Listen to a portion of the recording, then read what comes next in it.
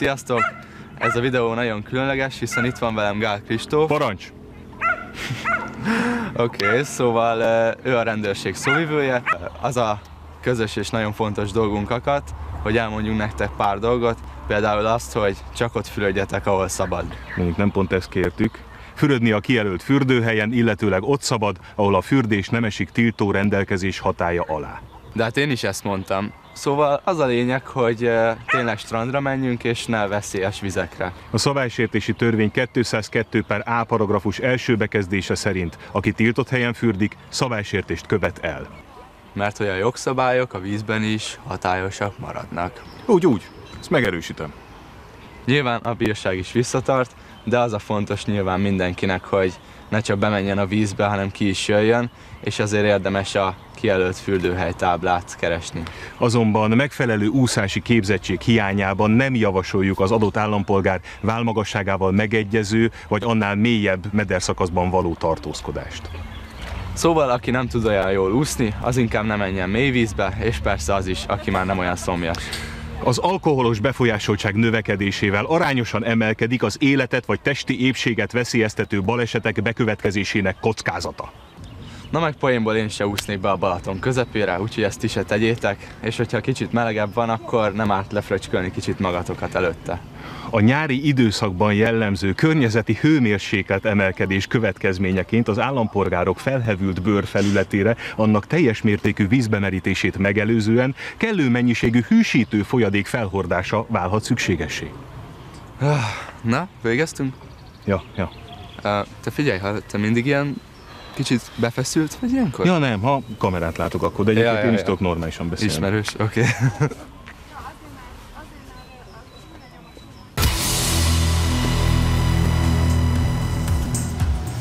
Vendégünk Gál Kristóf, az ORFK szóvivője. Köszönjük, hogy eljöttél hozzánk. Egyúttal az is kiderült, hogy nem csak humorod van, de színészi vénád is, és ez nem véletlen. Sziasztok, Szia, köszönöm Kristóf. a meghívást.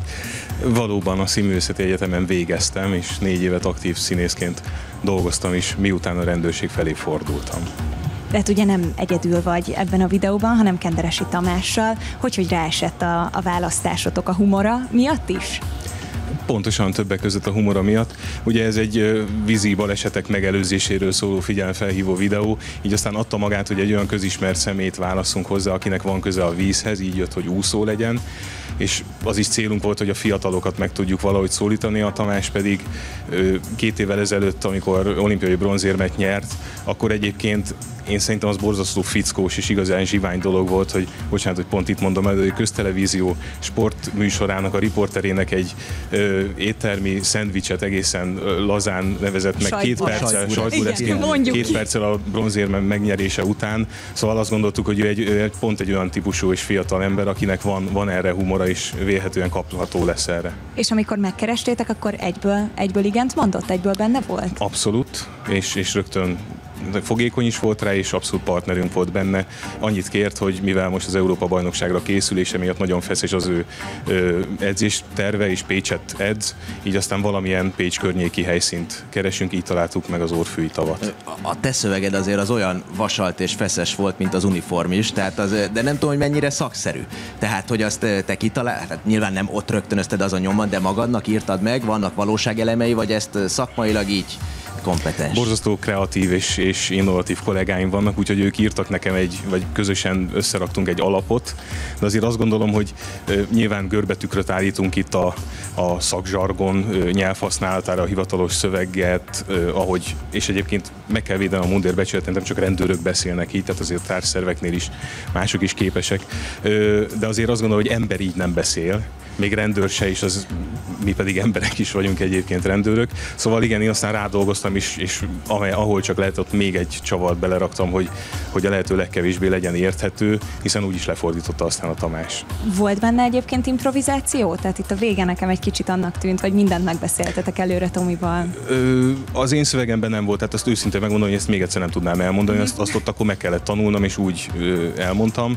A vége az teljesen improvizáció volt, azt, azt beszéltük, hogy, hogy hogy valahogy lazuljunk el és derüljön ki, hogy, hogy azért az egyenruha mögött mögött azért én is normális ember vagyok, és ezt a Tamás ezzel a be vagy feszülve szó összetétellel szerintem elég jól fölvezette.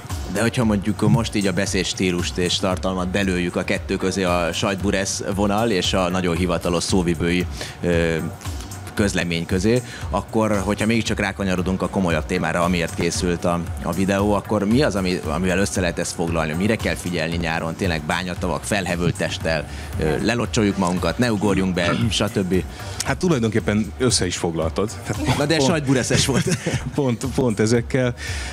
Borzasztó nehéz ebből egyet kiragadni. Én, én azt mondanám, hogy, hogy lehetőség szerint észszerűen. Tehát a, amit a józanész diktál, azt, azt csinálja mindenki a vízparton és a vízben is. De hogyha mondjuk egy dologra szeretnék fókuszálni, ezt így viccesen érintettük is, az talán mondjuk a részegség, úgyis talán ezt a műsort a fiatalobbak nézik, hogy, hogy nyilván azzal, hogyha valaki iszik, és a strandon van, akkor borzasztó bátor lesz, egyenes arányban növekszik nem csak a balesetek kialakulásának kockázata, hanem a bátorság is, és nem feltétlenül ö, tud felelősséget vállalni a saját tetteiért. Mondjuk, hogyha egy tanácsot kéne itt most vízzel kapcsolatban megfogalmaznom, akkor azt kérem, nem tudom melyik kamera lesz, olyan jó lenne, hogy belenézni, Bármelyik azt kérem szerintem. tőletek gyerekek, hogy hogy aki, aki józan, az figyeljen oda arra, aki mondjuk esetleg egy ilyen vizes, vizes bulinál részegebb, és ne, ne akarja átúszni a nagy sodrású folyót, vagy a, mit tudom én, nagyon hideg vízbe, ne ugorjon bele, figyeljünk mi oda rá helyette is. Hiszen még Kenderesi Tomi se vállalkozna erre, mondta. Igen, igen, ő is elmondta a videóban. Hogy reagáltak egyébként a, a fiatalok erre a videóra? Hát Mennyien nézték meg, mik a kommentek? Tetszett nekik, hogy ilyen humorosan közelítettétek meg a témát? Abszolút pozitív visszajelzéseket kaptunk a kommentekben is, és meg, meg szóban is, akik mondjuk közelebbről ismernek minket. Két felületen van a, talán nem szabad elmondani, az a legnagyobb videó megosztón, illetve a Mondhatod, hogy a legnagyobb... YouTube-on nyugodtan. A, és a Facebookon is, és a két videónak összesen már olyan negyedmillió vagy annál kicsit nagyobb nézettsége van, úgyhogy azt hiszem, hogy, hogy sikerült jó sok mindenkihez elérni, és tényleg talán ez a forma, ami rendhagyó a maga furcsaságával, az, az talán tényleg az üzenet is, üzenetet is eljuthatja az emberekhez. Hát Köszönjük szépen, Köszönjük hogy eljöttél hozzánk, és ha más fontos köszönöm. témában is születik ilyen videó, akkor nálunk helyet kap, az biztos. Abszolút Köszönjük biztos. a meghívást.